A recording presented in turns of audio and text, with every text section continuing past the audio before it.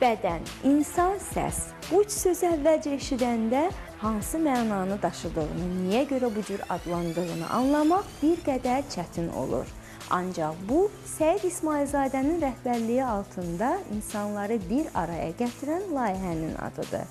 Layihə haqqında çox az eşitdiyiniz məqamları şou məkan vasitəsilə daha dərindən biləcəksiniz.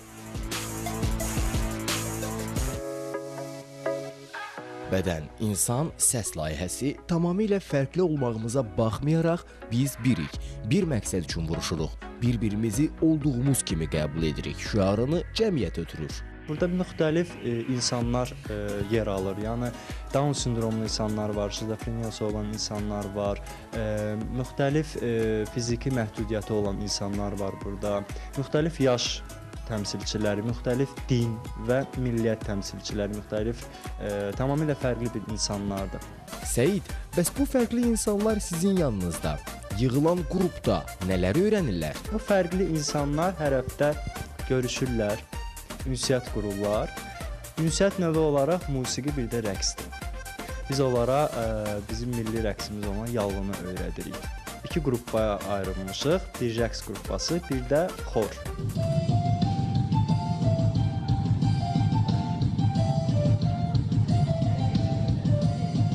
Rəqs qrupasında aydındır ki, biz orada hərəkətləri öyrədirik. Xorda da həmin yallının melodiyasını biz oxuyuruq, musiqisini. Və inşallah təqdimatda hər iki bu qrupda bir yerdə yallını belə bir nümayiş eləyəcək. Bu yallı da bir birlik simvolu daşıyır. Çünki burada bilirsiniz, hamı bir-birinə bağlıdır. Yəni fərd olaraq yox, özünü bir bütöv olan bir bir şeyin hissəsi hiss eləmək. Səid, bu qədər insanı bir yerə yığırsınız, əziyyət çəkirsiniz, daşı daş üstə, rəqsi rəqs üstə qoyursunuz. Bəs öyrətdiklərinizi insanlara nə vaxt təqdim edəcəksiniz?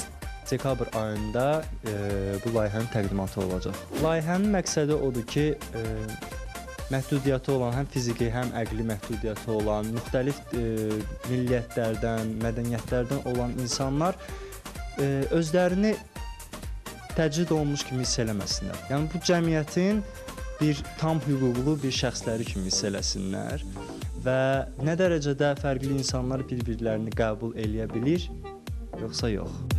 Layihəyə böyük marağın olduğunu söyləyən İsmailzadə ayrılan qruplarda kifayət qədər tələbənin olduğunu qeyd etdi. Layihədə artıq 50-dən çox iştirakçımız var həm rəqsi nəzərdə tuturam, həm də ə, e, xor ə, e, qrupamızda və ə, e, gələn həftə inşallah biz artıq yekun olaraq bütün iştirakçıların siyahısını bizdə olan ə, könüllülər də var burada, kim ki bizə kömək eləyir və hardasa bir 100-ə yaxın insan olacaq. Səid, bəs təqdimat zamanı hansısa məşhuru biz orada görə biləcəyikmi? Düşünürəm ki, yəni ən azından bizi e, dəstəkləyəcəklər nə barədə e, təqdimat vaxtı bizim bu, bu həm layihənin təqdimatında öz iştirakçılarını orada göstərərlər, öz ifalarını göstərərlər. Hə Səid, sən söyləyəcəyini söylədin. Keçək indi layihə üzvlərinə. Rəqs müəllimi İradə xanım bədən, insan, səs layihəsində iştirak etməkdən məmnun olduğunu söyləyir. Elə bir göydən düşmə oldu mənə. O qədər sevindim ki, Səidlə danışdıq, dedi ki, gəl məşqlərə başla. Başladıq. Çox maraqlıdır mənim üçün. Çox istəyirəm hamısını. Hətta fikirləşirəm ki, layihə qutarandan sonra darıxacam onlardan ötürü.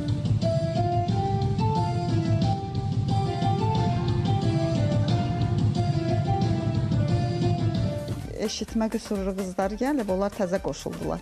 Onlar o qədər maraqla, o qədər çox mənə qəribə gəlir ki, gözlərində bir belə eşq var onların.